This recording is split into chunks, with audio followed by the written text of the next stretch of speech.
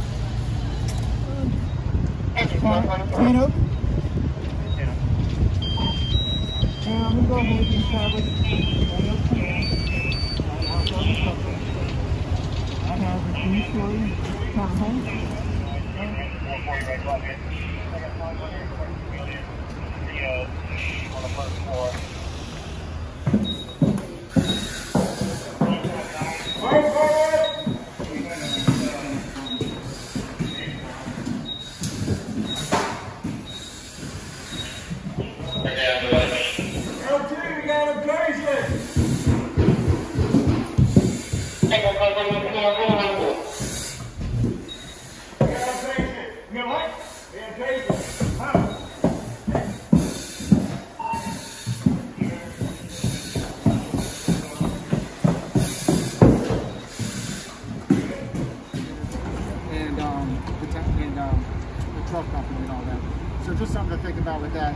Um, because we do have the capabilities of having these units out here, you know, Um, this alpha exposure was 12. We weren't able to get into the delta exposure.